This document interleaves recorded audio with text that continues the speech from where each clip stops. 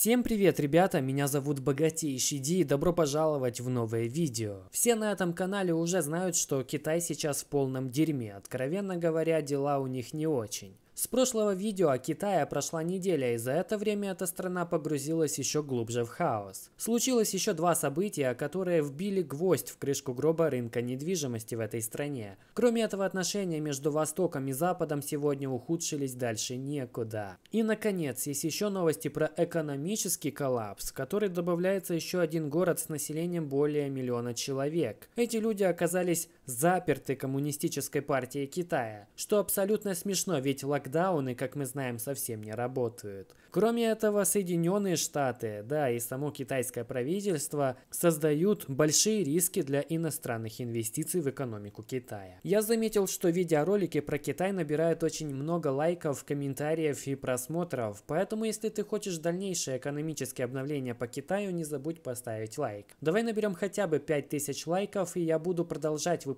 оперативные обновления по этой стране и впредь. Ну а сейчас мы обсудим все самое важное, что произошло с Китаем за последнюю неделю. И начнем с недвижимости, потому что с чего еще начинать, если не с этого? Мы уже не раз говорили о недвижимости в Китае и о ее важности для китайской экономики. Поэтому сейчас я вкратце расскажу некоторые события, которые влияют на этот рынок в Китае. Рынок недвижимости в Китае является крупнейшим финансовым пузырем в мире, гораздо большим, чем пузырь криптовалюты, NFT-пузырь или пузырь американских технокомпаний. В Китае на данный момент 60 миллионов единиц жилья, 100% из которых совершенно пустые и без перспективы заселения в ближайшее время. Потому что в них нет газа, воды, электричества, окон, стекол, пола, лифта, пожарных выходов и так далее. Почему же так происходит? А все потому, что люди объявляют бойкот ипотекам, а без финансирования строительства стопорится. Пузырь недвижимости в Китае начинает схлопываться, это видно потому, что цены падают с каждой неделей. Это в свою очередь создает огромные проблемы для компаний, которые строили или строят эту недвижимость. Также застройщики остаются до невозможности закредитованными, и внезапная невозможность продать эти 60 миллионов единиц жилья является большой проблемой для таких застройщиков и грозит им банкротством. Собственно говоря, они и разоряются, и единственная возможность для них удержаться на плаву и выплатить долги – это продать свои активы. Но интересно то, что эти активы тоже обесценились, и застройщики больше не могут генерировать деньги. Все, что они могут делать, это строить жилье, которое сейчас никому не нужно. Evergrande – это второй по размеру застройщик в Китае и в мире тоже. За что они прославились? За то, что они стали застройщиком самым крупным долгом в Китае, да и в мире тоже. Фактически Evergrande является самой большой компанией-должником в мире. Их долг составляет 300 миллиардов долларов, что в 4 раза больше, чем у крупнейшего в 2008 году банка Bear Stearns, который лопнул во время финансового кризиса тех годов. У Evergrande было время до 1 августа для реструктуризации долга, но у них не получилось этого сделать. Впрочем, и не получится. Нет ни одного способа реструктуризировать долг такого размера, так чтобы компания при этом выжила. Для них просто невозможно выплатить такие долги без помощи китайского правительства. Будущее второго крупнейшего застройщика в Китае Китая сегодня выглядит еще мрачнее, чем неделю назад, и, видимо, его краха не избежать.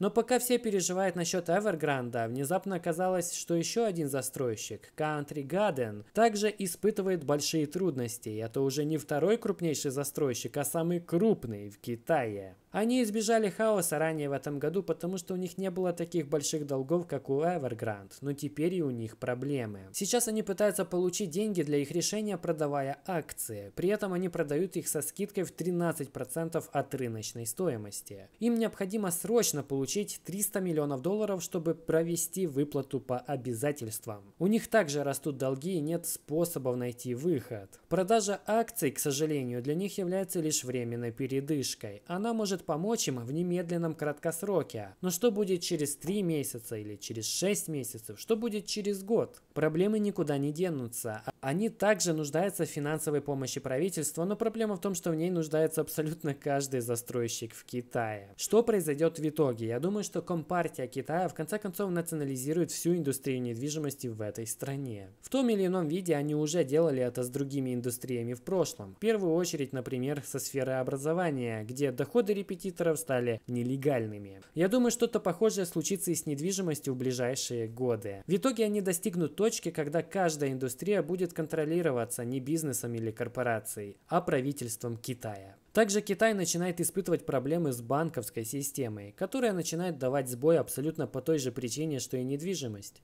Мы уже говорили об этом более подробно в предыдущих видео. Мы видели, как китайцы начали протестовать против банков, потому что они не дают их деньги, но китайская армия встала на защиту этих банков.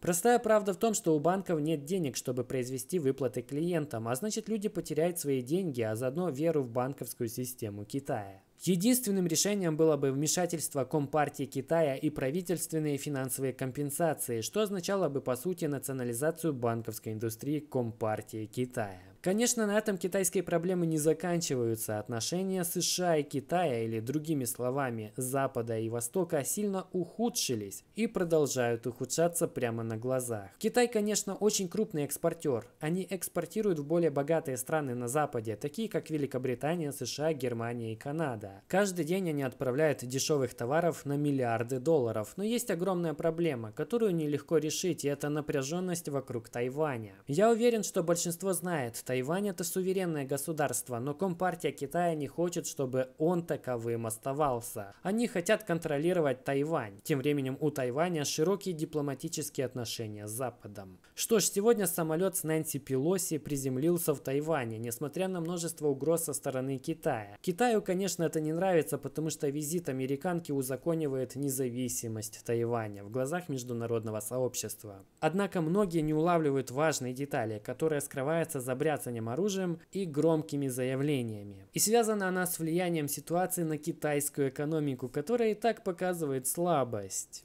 К примеру, Alibaba готовится к делистингу с американских фондовых рынков. На этой новости их акции сильно упали. Причина заключается в том, что западные инвесторы теперь не смогут торговать акциями этой компании. Это также делает практически невозможным привлечение западного и американского капитала в Alibaba. То же самое касается целого ряда других китайских компаний, которые будут вскоре страдать точно так же. Теперь многие инвесторы задумаются, а стоит ли инвестировать в китайские компании, учитывая два огромных риска, которые сейчас существуют. Эти риски сильно перевешивают потенциальную прибыльность такой инвестиции. Первый риск. Китайская партия может сама уничтожить инвестиции в компании. Она уже так делала в прошлом. Самый худший пример это компания DD. И второй риск. США и западные компании могут сами обрезать инвестиции, как в случае с Alibaba. На этом, конечно, последствия напряженности отношений не заканчиваются. Так, например, автокомпания Jeep, которая является крупнейшим производителем автомобилей в мире, только что закрыла свою фабрику в Китае. Они сделали это по ряду причин, но самое главное из них это боязнь санкций. Если будут введены санкции, если напряженность будет расти, компании будет трудно экспортировать товары и импортировать запчасти. Так что финансового смысла в нахождении их завода на территории Китая больше нет. Еще одна причина заключается в китайской коррупции. Это тоже означает, что в будущем в Китай будет поступать гораздо меньше иностранных инвестиций, и это уже начинается, как мы можем увидеть. Я лично уверен, что если Тесла замышляла открывать еще заводы в Китае, то теперь она точно передумает. Это влияет на все индустрии в Китае, не только на автомобилестроение. Зачем строить свой бизнес в Китае, если американское правительство, да и китайское тоже, могут сильно тебе навредить в ближайшем будущем? И закончить я хочу тем, как Компартия Китая снова стреляет себе в ногу. Они продолжают абсолютно разрушительную ковидную политику в условиях, когда экономика и так еле живая. Теперь Ухань снова закрыл миллион своих граждан из-за того, что обнаружил всего 4 случая ковида. Проблема в том, что локдаун для ковида не работает. Это уже понятно всем. Мы все должны научиться жить с коронавирусом, теперь это данность. Но Китай не хочет этого понимать и продолжает закрывать людей, бизнес убивая свои предприятия и экономику, которая и так слабая. Почему они это делают? Делают. Думаю, это не стремление побороть коронавирус, а скорее какие-то эксперименты с контролем над собственным населением. Они даже готовы ради этого жертвовать своей экономикой. Совершенно ясно, что Китай сейчас просто в хаосе. Кроме этого, на горизонте не видно завершения ни одной из перечисленных проблем, с которыми эта страна столкнулась. Если у тебя есть инвестиции в Китай, я бы лучше был бы на твоем месте очень осторожен. И лично сейчас вообще не лез бы в китайский рынок. Я буду делать такие выпуски про состояние Китая и впредь. Возможно, раз в неделю. Может быть, чаще. Поэтому не забудь подписаться и поставить лайк с колокольчиком, если тебя эта тема интересует. Это очень помогает алгоритмам YouTube рекомендовать видеоролики большему количеству людей. Ну а мне помогает находить мотивацию для создания нового контента. Меня зовут Богатейший Ди. Увидимся в новых видео. До скорого. thank you